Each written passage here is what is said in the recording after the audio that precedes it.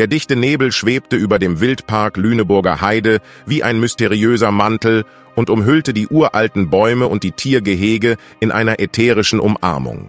Die Sonne konnte kaum den weißen Vorhang durchdringen und schuf an diesem deutschen Morgen eine fast traumhafte Szenerie.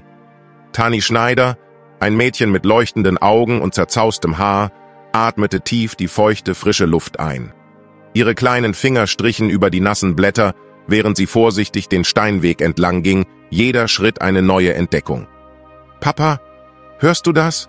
flüsterte Tani, ihre Stimme kaum hörbar in der Stille des Morgens. Die Vögel singen heute eine andere Melodie.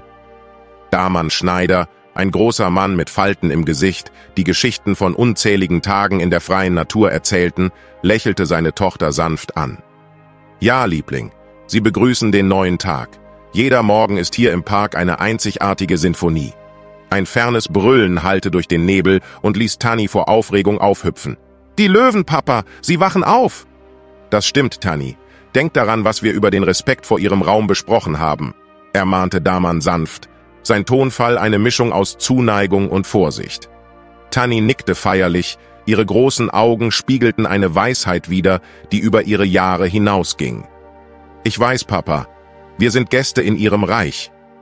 Während Vater und Tochter durch den Park gingen, begann sich der Nebel langsam zu lichten und enthüllte flüchtige Blicke auf die magische Welt um sie herum. Eine Gruppe von Rehen überquerte leise eine nahegelegene Lichtung, ihre anmutigen Silhouetten tauchten wie Geister im Nebel auf und verschwanden wieder. Schau, Tanni, flüsterte Daman und deutete auf eine imposante Gestalt, die aus den Schatten auftauchte. Es war ein majestätischer Elefant, sein Rüssel erhoben, als ob er den neuen Tag begrüßen wollte. Tanni hielt den Atem an, ihre Augen weit vor Bewunderung. Er ist so wunderschön, murmelte sie, ihre Stimme voller Emotionen. In diesem Moment, als ob er die Anwesenheit der kleinen Beobachterin spürte, drehte der Elefant seinen massiven Kopf in ihre Richtung. Seine Augen, klein aber tief weise, trafen die von Tanny. Papa, flüsterte Tanny. Ihre Stimme zitterte vor Aufregung und einem Hauch ehrfürchtiger Angst. Er schaut mich an. Daman legte eine schützende Hand auf die Schulter seiner Tochter. Ja, Liebling, er weiß, dass du etwas Besonderes bist. Du hast eine Gabe, Tani. Eine Gabe, dich mit diesen erstaunlichen Wesen zu verbinden. Der Elefant schwang seinen Rüssel sanft, als ob er winken würde, bevor er sich umdrehte und im immer noch anhaltenden Nebel verschwand. Tani blieb einen Moment lang still stehen, absorbierte die Magie dieser Begegnung. Dann drehte sie sich mit einem strahlenden Lächeln zu ihrem Vater um. Lass uns sehen, wer sonst noch wach ist, Papa. Vielleicht spielen die Affen oder die Giraffen frühstücken. Mit einem sanften Lachen folgte Daman seiner begeisterten Tochter, ihre Schritte hallten leise auf den nassen Steinen wieder. Der Nebel löste sich weiter auf und versprach einen Tag voller Wunder und Entdeckungen im verzauberten Reich des Wildparks Lüneburger Heide. Schließlich gewann die Sonne den Kampf gegen den Nebel und tauchte den Wildpark Lüneburger Heide in goldenes Licht. Daman Schneider, dessen Augen vor Stolz leuchteten, beobachtete, wie seine Tochter Tani mit einer Gruppe von Kapuzineräffchen interagierte. Das Mädchen mit ihrem honigfarbenen Haar, das im Wind tanzte, imitierte die Bewegungen der Primaten mit überraschender Präzision. »Schau mal, Papa«, rief Tanni, ihr Gesicht erstrahlte in einem strahlenden Lächeln. »Sie bringen mir bei, wie man Insekten in den Bäumen findet.« Daman lachte leise, erstaunt über die Leichtigkeit, mit der seine Tochter mit den Tieren kommunizierte. »Du bist wirklich etwas Besonderes, mein Kleines«, murmelte er mehr zu sich selbst als zu Tanny. Während Vater und Tochter durch den Park gingen, wurde die Einzigartigkeit von Tanis Kindheit immer deutlicher. Wo andere Kinder Spielplätze und Spielzeug hatten, hatte Tani simulierte Savannen und Regenwaldhabitate. Ihre Lehrer waren nicht nur Menschen, sondern auch die prächtigen Kreaturen, die den Park bewohnten. Papa, was denkst du, was die Giraffen denken, wenn sie uns von oben betrachten? fragte Tani, während ihr Blick auf die eleganten Geschöpfe gerichtet war, die von den höchsten Blättern fraßen. Daman kniete sich neben sie, so dass er auf Augenhöhe mit seiner Tochter war. Nun, Liebling, vielleicht denken Sie, wie klein und komisch wir von hier unten aussehen, antwortete er mit einem spielerischen Lächeln. Tanni lachte, der Klang ihrer Freude hallte wie eine verzauberte Melodie durch den Park. Doch der Moment der Leichtigkeit wurde durch das Näherkommen eiliger Schritte unterbrochen. Herr Schneider! Herr Schneider! Die besorgte Stimme gehörte Mark, einem der erfahrensten Tierpfleger im Park. Sein Gesicht war angespannt, seine Augen wanderten schnell zwischen Daman und Tani hin und her. »Was ist los, Mark?« fragte Daman, stand auf und legte instinktiv eine schützende Hand auf Tannys Schulter. Mark zögerte, warf einen bedeutungsvollen Blick auf Tanny, bevor er sprach. »Herr Schneider, einige von uns sind besorgt. Tannys Nähe zu den Tieren.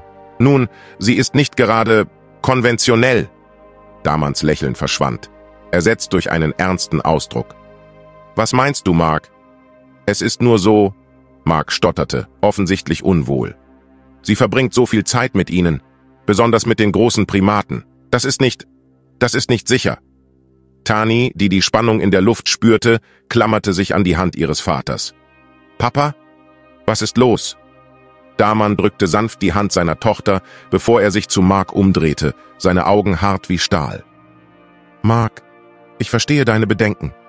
Aber Tanny hat eine Gabe, eine Verbindung zu diesen Tieren, die über unser Verständnis hinausgeht. Ich vertraue ihr und ich vertraue den Tieren, die sie ihre Freunde nennt. Mark schien argumentieren zu wollen, aber etwas in Damans Ausdruck ließ ihn zurückweichen. Mit einem widerwilligen Nicken zog er sich zurück, warf jedoch besorgte Blicke über die Schulter.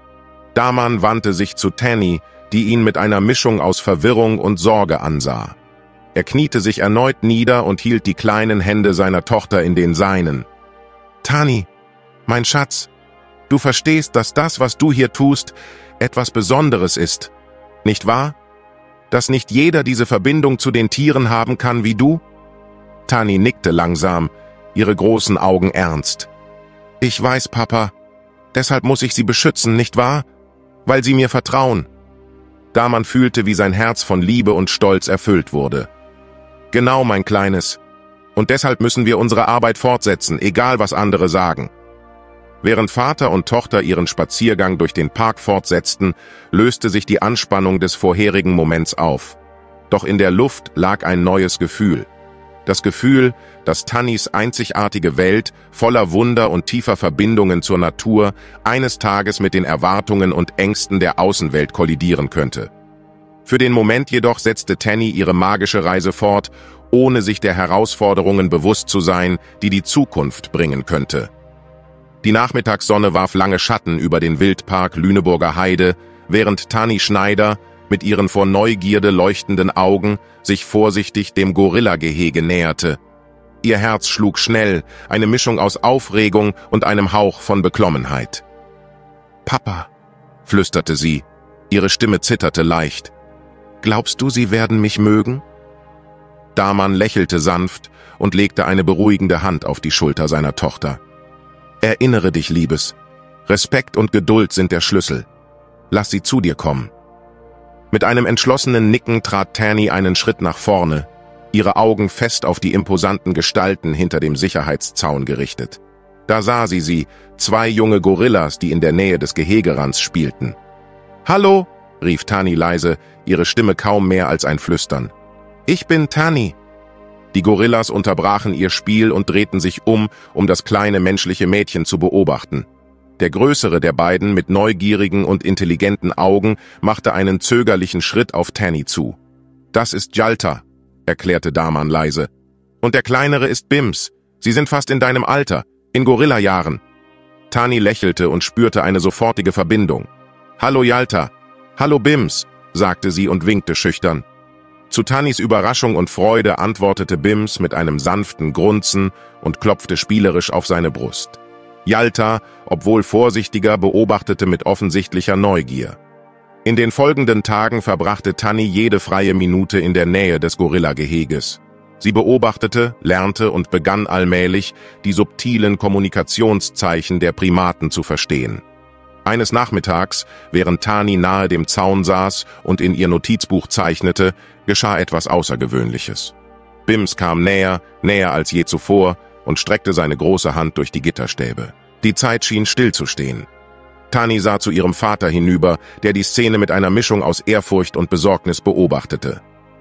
Alles in Ordnung, Liebes, flüsterte Daman, seine Stimme angespannt. Mach langsam.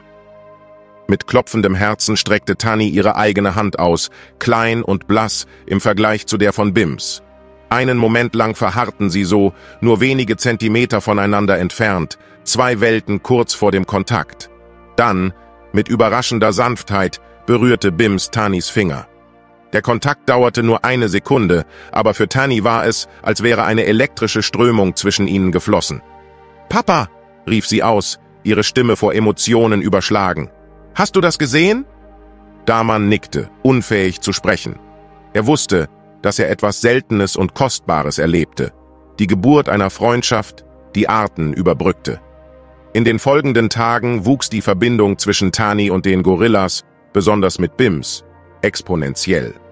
Sie lernte ihre Gesten zu interpretieren, ihre Stimmungen zu verstehen und sich sogar durch einfache Gesichtsausdrücke und Körperbewegungen zu verständigen.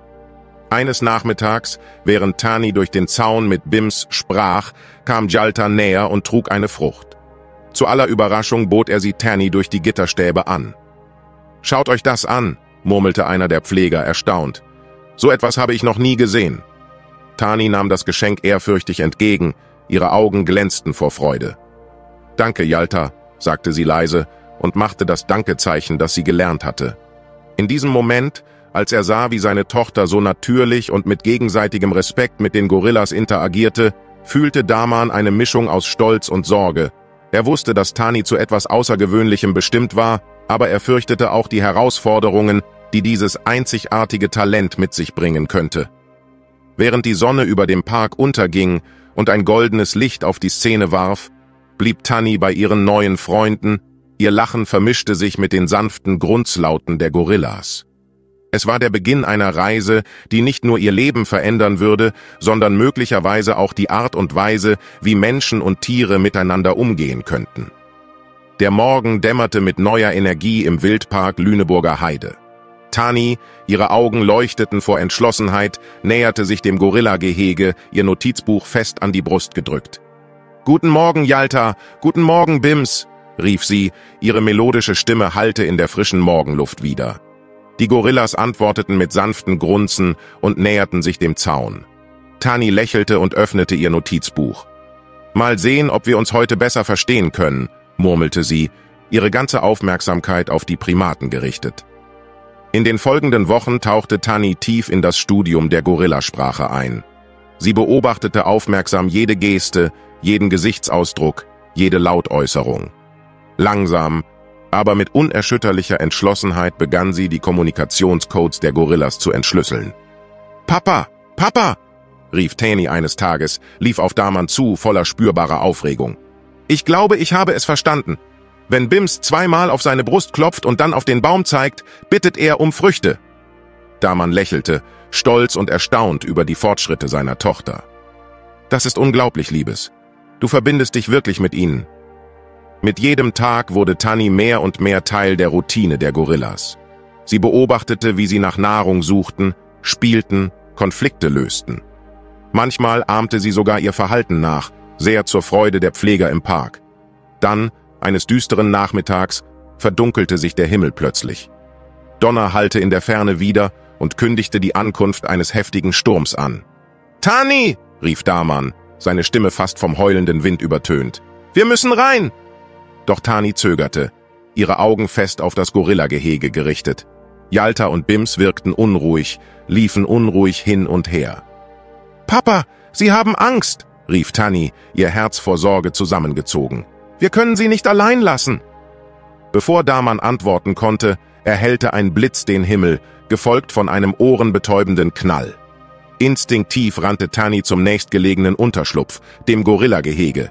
»Tani, nein!« schrie Daman, doch seine Stimme wurde vom Sturm verschluckt. Im Gehege fand Tani Yalta und Bims zusammengeduckt in einer Ecke, eindeutig verängstigt. Ohne zu zögern näherte sie sich ihnen, ihre eigene Angst vergessen angesichts des Bedürfnisses, ihre Freunde zu trösten. Alles ist gut, flüsterte sie, benutzte die Gesten, die sie gelernt hatte. Ich bin bei euch. Zu aller Erstaunen näherte sich Bims Tanni, als suche er Trost. Jalta, obwohl noch vorsichtig, hörte auf, sich zu bewegen. Der Sturm tobte draußen, doch im Gehege spielte sich eine außergewöhnliche Szene ab. Ein menschliches Mädchen und zwei junge Gorillas, vereint durch geteilte Angst und gegenseitiges Vertrauen.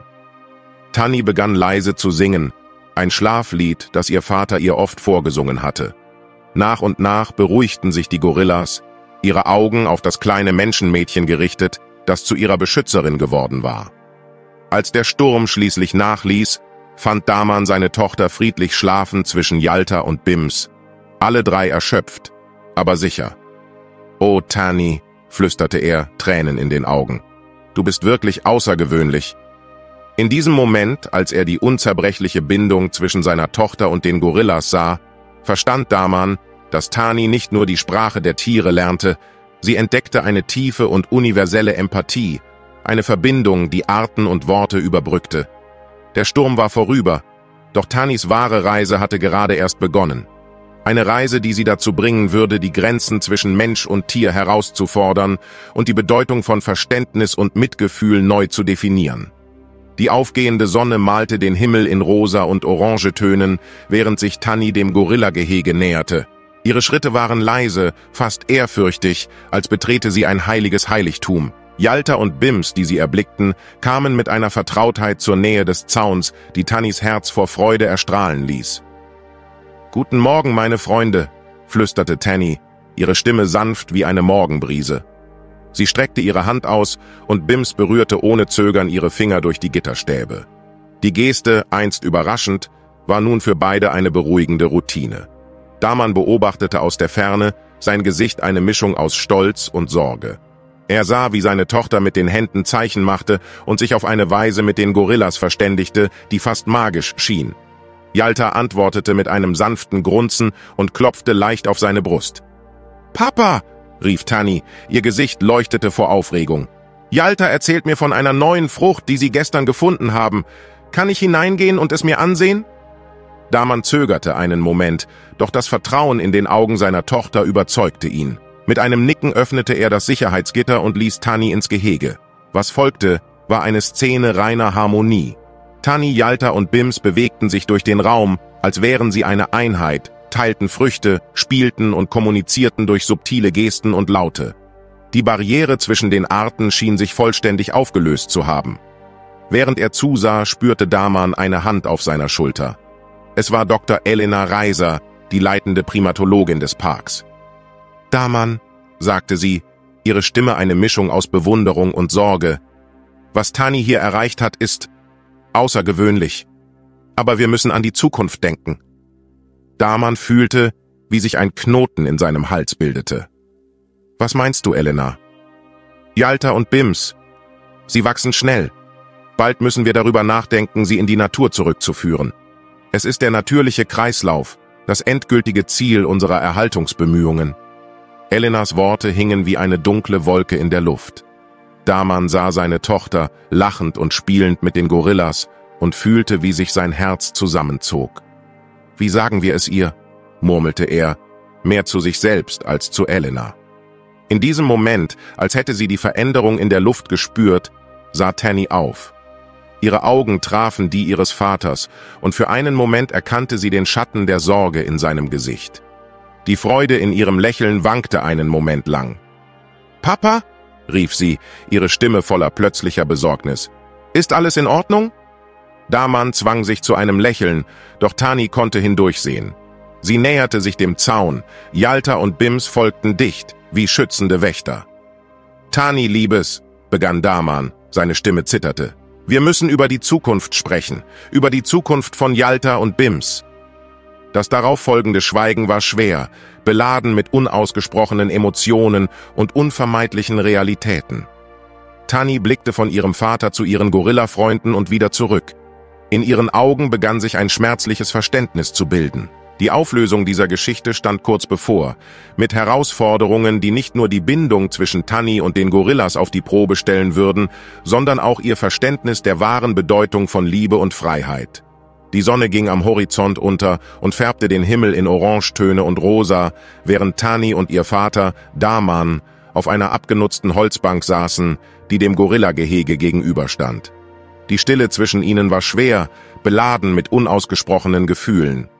Daman atmete tief durch, sammelte den Mut für die Worte, von denen er wusste, dass sie das Herz seiner Tochter brechen würden. Tani, mein Schatz, begann er, seine Stimme sanft, aber fest.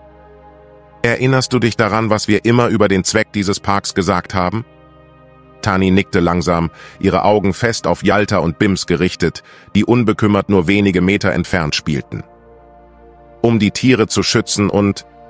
und ihnen zu helfen, in die Natur zurückzukehren, antwortete sie, ihre Stimme kaum mehr als ein Flüstern. Genau, bestätigte Daman und legte einen Arm um Tannys Schultern.